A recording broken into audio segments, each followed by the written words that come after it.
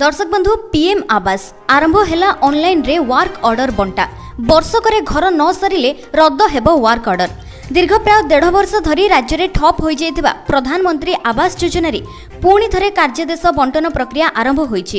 ପ୍ରଥମ ଥର ପାଇଁ ରାଜ୍ୟରେ ଅନଲାଇନରେ ଏହି ପିଏମ୍ ଆବାସ ଘରର ୱାର୍କ ଅର୍ଡର ଅନଲାଇନରେ ହିତାଧିକାରୀଙ୍କୁ ପ୍ରଦାନ କରାଯାଉଛି।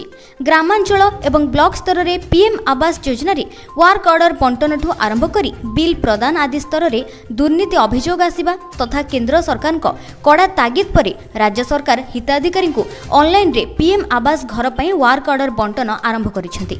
ତେବେ ଦର୍ଶକ ବନ୍ଧୁ ସମ୍ପୂର୍ଣ୍ଣ ଅପଡେଟ୍ଟି କ'ଣ ରହିଛି? ଆସନ୍ତୁ ଏହି ଭିଡ଼ିଓ ମାଧ୍ୟମରେ ଜାଣିନେବା।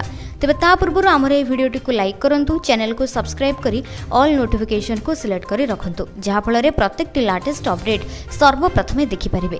ତେବେ ଗତ ମେ ତିରିଶ ତାରିଖରେ ରାଜ୍ୟ ପଞ୍ଚାୟତିରାଜ ସଚିବ ସୁଶୀଲ କୁମାର ଲୋହାନୀ ସମସ୍ତ ଜିଲ୍ଲାପାଳ ଜିଲ୍ଲା ପରିଷଦର ମୁଖ୍ୟ ଉନ୍ନୟନ ଅଧିକାରୀ ଏବଂ ବିଡିଓଙ୍କୁ ଚିଠି ଲେଖି ପିଏମ୍ ଆବାସ ଘରର କାର୍ଯ୍ୟାଦେଶ ହିତାଧିକାରୀଙ୍କୁ ଅନଲାଇନରେ ବଣ୍ଟନ କରାଯିବ ବୋଲି ସୂଚନା ଦେଇଥିଲେ।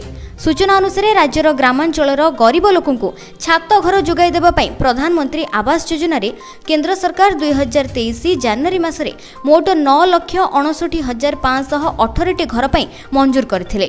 ଏହି ଘରଗୁଡ଼ିକୁ ହିତାଧିକାରୀଙ୍କୁ ବଣ୍ଟନ କରିବା ନିମନ୍ତେ ରାଜ୍ୟ ସରକାର ପ୍ରାୟ ଛଅ ମାସ ଧରି ନୀତି ଅବଲମ୍ବନ କରିଥିଲେ ଏବଂ ଶେଷରେ ଆଜିଠାରୁ କାର୍ଯ୍ୟଦେଶ ବଣ୍ଟନ ପ୍ରକ୍ରିୟା ଆରମ୍ଭ କରିଛନ୍ତି। ଅନଲାଇନ୍ ମାଧ୍ୟମରେ ହିତାଧିକାରୀମାନେ ନିଜର ଆଧାର କାର୍ଡ ବିବରଣୀ ଦେଇ ଏହି ୱାର୍କ ଅର୍ଡରକୁ ଡାଉନଲୋଡ୍ କରିବାର ସୁଯୋଗ ପାଇବେ। ତେବେ ଯୋଗ୍ୟ ହିତାଧିକାରୀଙ୍କର ପଞ୍ଜୀକୃତ ମୋବାଇଲ ନମ୍ବରକୁ ଏକ ଲିଙ୍କ ପଠାଯିବ ଯେଉଁଥିରେ ତାଙ୍କର ୱାର୍କ ଅର୍ଡର ମିଳିପାରିବ।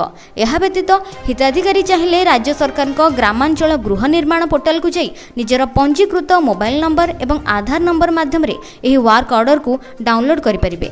ମୋ ସେବା କେନ୍ଦ୍ରରେ ମଧ୍ୟ ଏହି ୱାର୍କ ଅର୍ଡରକୁ ହିତାଧିକାରୀ ଡାଉନଲୋଡ୍ କରିବାର ସୁବିଧା ପାଇବେ।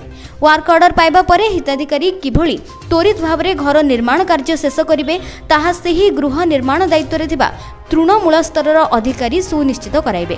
କୌଣସି ଯୋଗ୍ୟ ହିତାଧିକାରୀ ଗୃହ ନିର୍ମାଣ ସଂକ୍ରାନ୍ତୀୟ କାର୍ଯ୍ୟ ପାଇଁ ହଇରାଣ ହେବେ ନାହିଁ ଏବଂ ସରକାର ଦୁର୍ନୀତିକୁ ନେଇ ଜିରୋ ଟଲରାନ୍ସ ନୀତି ଆପଣାଉଥିବାରୁ କୌଣସି ତୃଣମୂଳ ସ୍ତରର ଅଫିସର ଯେପରି ଏସବୁରେ ଲିପ୍ତ ନ ହେବେ ସେ ନେଇ ସରକାରୀ ଅଫିସରମାନଙ୍କୁ ସଚେତନ ରହିବାକୁ କୁହାଯାଇଛି। ତେବେ ଦର୍ଶକ ବନ୍ଧୁ ଆସିଲା କିଛି ଲାଟେଷ୍ଟ ଅପଡେଟ୍ ତେବେ ଏଇଭଳି ଅପଡେଟ୍ ସବୁକୁ ସର୍ବପ୍ରଥମେ ଦେଖିବା ପାଇଁ ଚ୍ୟାନେଲକୁ ଆମର ସବସ୍କ୍ରାଇବ୍ କରି ରଖନ୍ତୁ।